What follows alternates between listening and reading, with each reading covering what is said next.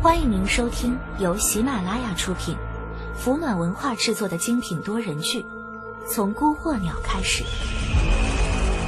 作者：胡尔该，演播：三生静水、刘兆坤、蔡新纯等人。第十八回，出方正线，同行者。有那么一瞬间，李岩在想：这女人是不是耍我？可女人的脸色极为认真。她看李岩不说话，凑到他身边，带着一股酒香，双眼眯着，拍了拍他的肩膀：“对，就是你想的那个太岁。”太岁是个女人。李岩有点不敢置信的问道。榆树轻轻笑着。就算很意外，也应该先报自己的名字吧。他叫李岩啊，林。九龙城寨的太岁，连自己手下的拳手都不认识了。一道掩不住风情的声音传来，哒哒的高跟鞋声音由远及近。这女人穿着素白色的长袖衬衫，踩着一双米黄色的高跟鞋，黑色的九分裤笔挺修长，休闲的金丝眼镜。活脱脱一副都市丽人的模样。朱迪满面春风的走过来，不着痕迹的挽住李岩的胳膊，脸冲着李岩厉声问道：“我不是让你在看台上等我，怎么到这儿来了？”看台上没位置，就到这了。朱丽姐，你们认识？你老板的老板吗？红鬼没给你介绍过吗？李岩看着那张和自己差不多大的年轻脸庞，有些迟疑。这福义大厦的人都叫我太岁，你也这么叫就行。原来你就是红鬼的心血，我还当是哪个来九龙找乐子的凯子。李岩点了点头。太岁，说着，于树看向朱迪。好久没见了，邓太太。朱迪脸色一滞，但还是强笑着说道。很久没见，太岁你还是这么亮啊！不过女人嘛，总要学会打扮自己的。邓太太说的对，我记住了。邓太太有什么合适的化妆品，记得推荐给我。一定啊！我约了阿言还有事，先走一步了。于树目送着两人离开，临走前还不忘说一句：“慢走啊，邓太太。”叫做阿珍的黑燕尾端着一个果盘走了过来，四下也没有望见李岩。您呢，小妹？啊阿珍吓了一跳，回头才看见榆树的脸。他嘘。榆树从盘子里抓起成瓣送进嘴里，含糊不清的问道：“怎么不去招呼客人啊？在这里送妹啊？”“哎呀，我这就去啊。”阿珍飞快的跑开。榆树抬头看着李岩和朱迪步入包厢，咀嚼干净嘴里的水果，徐徐摇头。蠢女人！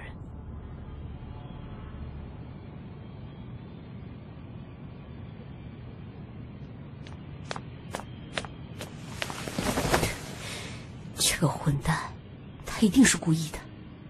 朱迪气呼呼的把手提包丢在沙发上，眼角瞥到低头不语的李岩。用高跟鞋轻轻杵了一下他的裤脚，抛该啊！秀我！李岩的眼睛弯成月牙的模样，他摇了摇头。朱丽姐，虽然咱们认识的时间不长，不过我的确是第一次看到你这么气急败坏的模样。朱迪端详了李岩一会儿，忽然问道：“你以前有没见过于叔？”李岩摇了摇头。某问，在他的想象里，九龙城寨五位执行委员之一的太岁，应当是那种四十岁往上、城府阴沉的老头子。就像何安东的事情之后，红鬼带他见过的那位治安队的司隶征。原本对于九龙城寨五位画师大佬，李岩心中早有盘算，可那个马尾及腰、小口抿着白酒的年轻女人，多少有点让李岩。把不住脉络，他亮不亮？李岩一本正经。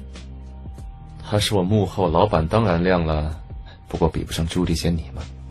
朱迪没说话，可是嘴角扬了扬，显然还是受用的。他歪着头打量着李岩，越看越是顺眼。红鬼是匹好马，太岁能让红鬼这样的好马死心塌地，我也一样做得到。对了，你记不记酒楼城寨最近来了几多心血，个个毫无生猛的？你说小周？怕是不止。朱迪冲拳台扬了扬下巴。李岩随意一扫，正看见拳台上刚结束的一场。一名脸上疤痕交错的凶恶光头，眼神凝滞的倒在台上，脖子上伤口向外翻着，鲜血浸透他捂着喉咙的双手，争先恐后的肆意奔涌。鲜血很快染红了整个拳台。对手个子不高，大概一米七左右，戴着狰狞的青色恶鬼面具。手中的兵器向下滴着血，他手中握着的是一个烟杆，烟袋锅子外侧有钢刃，两端都是生铁打造，中间则是斑驳的香妃竹。这是蓝面叟。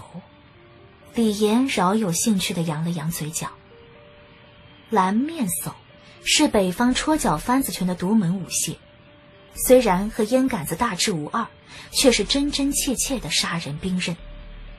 朱棣坐在李岩身边，轻声吐道：“他拳台上的花名叫武二郎，真名没人知道。真是个怪人。”朱迪姐怎么有空关注这人呢？难不成朱迪姐想冲他的场？朱迪瞟了李岩一眼：“你自卫啊？” 李岩微笑着不说话。有时候让女人多一点想象也没有什么不好。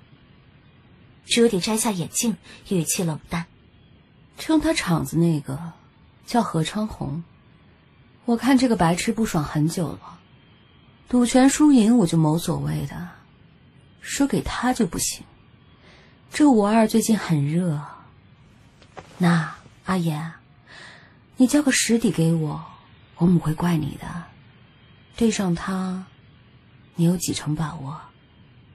李岩似笑非笑的说道：“惹朱莉姐不开心，那我一定有十二成把握，让这剖该被人抬下擂台了。”朱迪扑哧一笑，捶了一下李岩的胸口，正色道：“跟你说正经的，他待会儿还要打一场，平常打拳的录像带我这里也有，你看一下。”说着。朱迪拿起桌子上摞得很高的录像带最上面的一盘，却被李岩按住了手。李岩的脸贴着朱迪很近，眼神如同海面上漂浮的冰块。朱迪姐，我说有十二成，就一定有十二成。朱迪看着李岩，眨了眨眼，忽然蜻蜓点水似的在李岩脸上亲了一下，让李岩为之一愣。朱迪后退了两步，小声的嘀咕：“混球，横撩过我，某可能的。”李岩有点口干舌燥，胸口忽然一阵灼烫，耳边却忽然响起一个低沉沙哑的声音：“古小说勾陈录本位置已经报告，请注意接收。”现在吗？李岩先是皱了皱眉头。紧接着，瞳孔却一阵收缩，猛地冲到玻璃面前，望向了拳台下面。拳台边上，刚刚摘下青色恶鬼面具，把面容隐藏在斗篷后面的武二郎蓦然抬头，左手捂着胸口，双眼不可置信望向四层包厢玻璃后面的李岩。你好。李岩轻轻对着口型，脸上带笑。他的眼睛里是一张年轻的、过分的稚嫩脸庞，属于那个花名武二郎的少年。惊鸿一瞥，发动。二人同时一惊。你发现了同行者。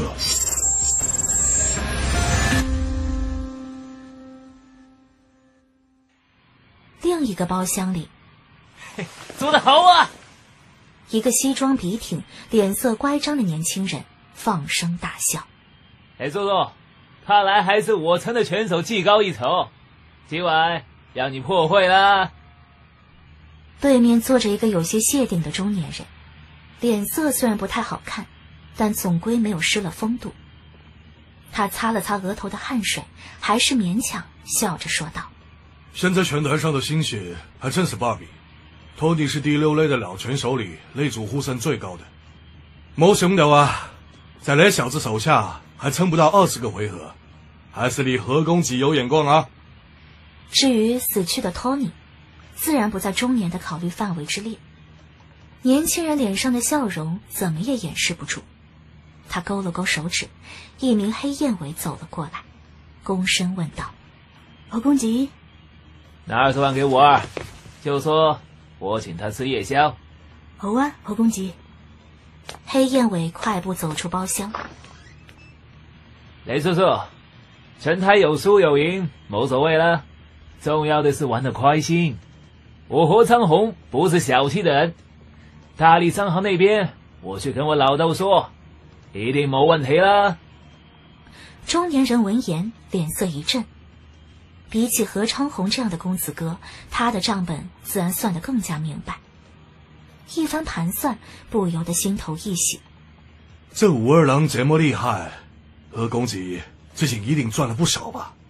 零花钱而已啊，你莫信。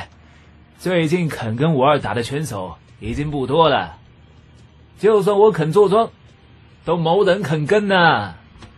另一边，包厢的门忽然开了，一名烟视媚行的女人嗲着嗓子走了进来，后面跟着摘下面具的五二。女人的姿色中等偏上，但身材火辣，衣着暴露，让男人看得喉咙发干。令人惊讶的是。五二的面容十分清秀，如果不是喉结突出，几乎就让人以为是个靓丽的女学生。只是这少年嘴唇薄而狭长，眼中不时有冷光闪过，让人心里发寒。阿妹，你来做妹啊？何昌红两只胳膊平放在沙发的靠背上，懒洋洋的说道：“何少，五二说要亲自过来。”谢何少您的夜宵钱。女人媚笑着，武二郎轻轻点头。何少，啊，五二，过来坐。何昌红端起一杯气泡酒，递给少年。打得够亮啊！何昌红满面红光的夸耀着少年。何少，少年忽然开口。行。被人打断。就算是自己捧的拳手，何昌红也有点不高兴。我听说，九龙城寨有个出名的大水猴 Judy，跟何少年不对付。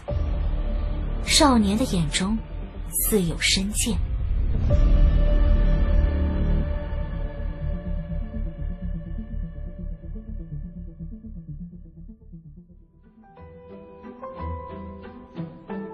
您刚才收听到的是由喜马拉雅出品、福暖文化制作的精品多人剧《从孤鹤鸟开始》，作者胡尔该，演播三生静水、刘兆坤、蔡新纯等人。喜欢本故事，请直接订阅本专辑。我们下一期再见。